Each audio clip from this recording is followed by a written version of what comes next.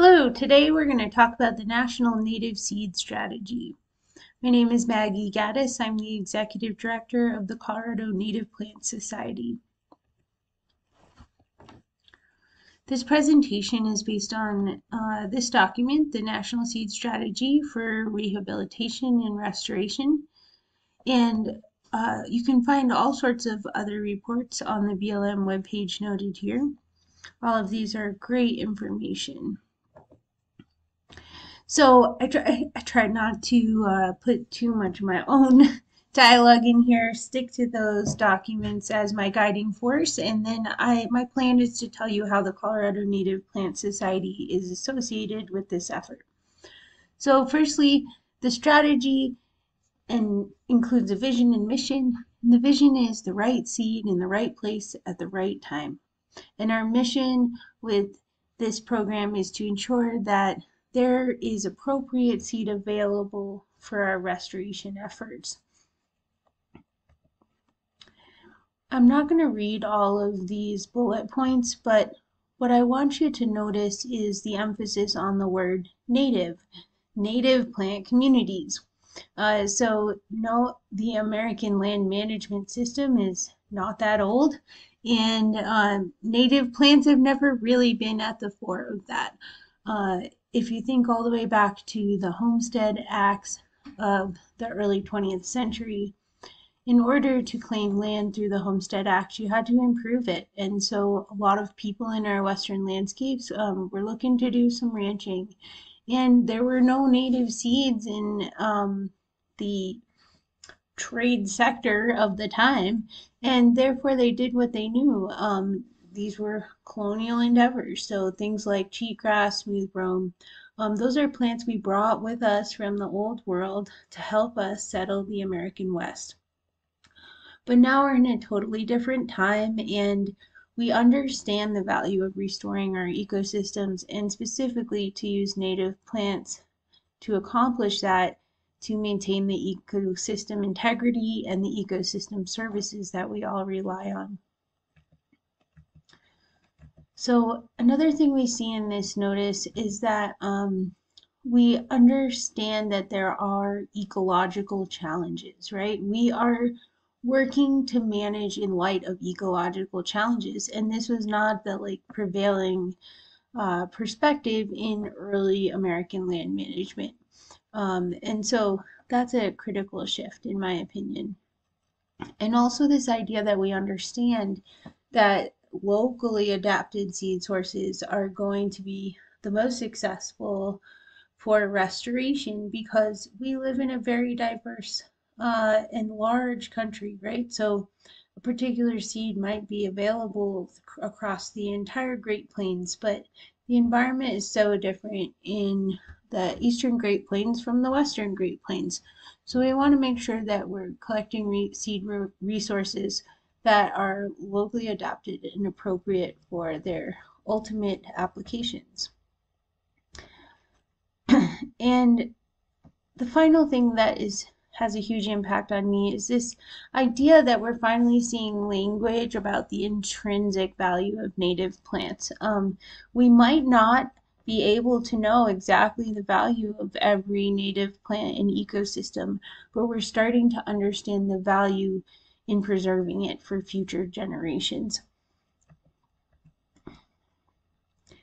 Now, another key part of these guiding values and principles is the um, reliance on scientific expertise. So, in the world, in our modern world of biology, genetics rules the day. We have a lot more tools in our toolbox than we might realize um, to make vital, important decisions about ecological restorations. And although we might still use non-native species in some situations, they really should be limited. Another key piece to this is collaboration, right? That there's a lot of different agencies in America that are managing the landscapes, right? So there's Department of Interior and Department of Agriculture. And um, the BLM is Department of Interior, National Park Service, National Monuments, and then we find that um, the United States Forest Service is under the Department of Agriculture. So we would really like to see these groups working together to achieve a holistic mission for ecological management. And then also there's a lot of language um, really directed towards non-federal partners. So one thing that I didn't emphasize at the beginning of the talk, which I really should have, is that um, the increase in funding driven towards the National Native Seed Strategy is related to the bipartisan infrastructure law. And the language in that law really emphasizes how um, our federal land managers and other partners in other sectors of our society um, can work with people outside of the government to achieve the goals and mission. Uh, and so we are we are there. That's us. We are the non-federal partner, Colorado Native Plant Society, alongside Colorado Natural Heritage Program in this particular endeavor. Uh, and then finally, we're looking at the value of using a native seed bank um, and then also the value of partnering with diverse stakeholders. So we think about who might use the land in a historic context. You know, we think about resource management, but we live in a much more diverse world than that. And so we're really expanding beyond that. So I tried to point out here some of the language and actions that like really started this. Um, it was the gateway. So the critical shortage of materials available after the wildfires of 1999 and 2000 um, were were what made Congress pay attention.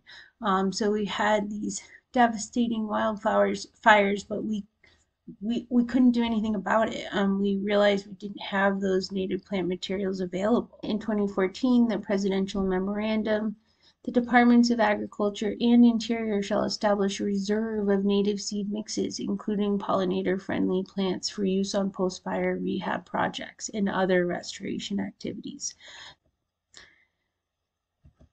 So the secretarial order number 3336, to the extent practicable, will utilize locally adapted seeds and native plant materials appropriate to the locations, conditions, and management objectives for vegetation management and restoration activities.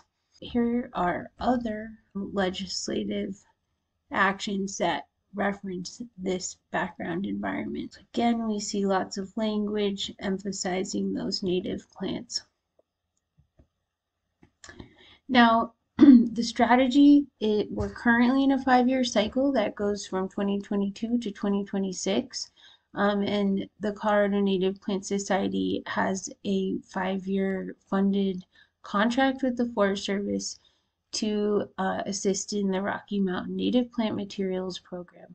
And Region 2 includes five states Colorado, Wyoming, South Dakota, Nebraska, and Kansas. Um, and in our Region too, we have a lot of grasslands um, because of that geography, and we also have all the way up to alpine ecosystems. So it's an extremely diverse landscape within our region. Um, we're interested in collecting forb, shrubs, and grasses. We're currently collecting primarily grasses um, with some forbs, and we're hoping to get into the realm of collecting shrub material as well. We don't ever um, collect federally or state listed species, rare or endemic plants, or commercial timber species. And all the seeds that we collect through this program uh, will help land managers select appropriate plant materials for their ecological restoration efforts. So there are four primary goals, and I want to talk to you about how we interact with these goals. So the first is to identify seed needs and ensure the reliable availability of genetically appropriate seed. So we work really closely with the Colorado Natural Heritage Program um, to develop the seed list. What seeds do we want to study? And CNHP is really the science leader in our world of native plants here in Colorado. Um, so they are at task and we are assisting there. And then as we go forward, um, in from identifying the seed needs, we'll be collecting them. Um, so our primary job as a society is to assist in the collection of these native seeds. And that includes monitoring the phenology um, to know when it is appropriate to collect the seeds and also to look for populations from which collection might be appropriate. And we do only collect from Forest Service lands and we will only be using these seeds on Forest Service lands. Goal two is a research oriented goal. And although we haven't gotten involved in research yet, we did collect seeds last year and they are currently being increased. And so we will have um, seed material with which to conduct studies. So like what you're looking at with these petri dishes, like this is a germination study. And also there could be like um, field garden plots where out in the wild we like plant the seeds to see measure various um, growth parameters, see how they're doing out in the field. Goal three, again, CNHP is really taking the lead here and we're assisting in the development of tools that help managers to make timely and informed decisions for ecological restoration. And goal four, develop strategies for internal and external communication. And I think we're really we're really uh, shining here, right? We have a really robust community already.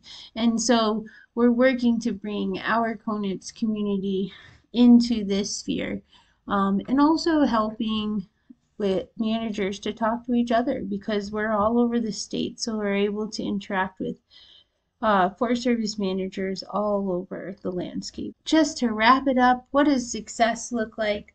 When I look at this, I think that success looks like everything that we do as a society. You know, we're a um, 2,000 plus member organization filled with botanists who many of whom are very excited about collecting seed, but more importantly, we know the native plants, and that is the thought leadership we can really bring to this environment. People in our membership are researchers in this field, and we hope to exercise our professional membership to help to continue to deepen our understanding of the work that we're doing here. We're helping to strategize like how could farmers get involved in the seed increase process because after we collect the wild seed um, we we farm it you know we send it to a seed increase facility like a nursery or to the plant materials center for the region. And they grow out the wild collected seed and then they collect seed from the grown out uh, specimens. And that's how we increase the seed from some ounces or a few pounds which we collected to many many pounds for restoration. Um, we also work with nurseries in um, not so much seed storage facilities, but to supply seed, right? We're, we're as a society working both on this natural resource management scale, but also in the commercial scale, right? We do all this stuff in the horticultural environment as well. And those things are helping us to really um, facilitate this process because we understand that like uh, that whole transition from resident to uh, co corporate space to public space in our public lands. And finally, we are ready to put the right seed in the right place at the right time. And so we thank you so much for listening to our this talk. And if you're interested, please check out the CoNPS calendar and join us for a restoration committee meeting where we discuss um, the processes of this project. Thank you.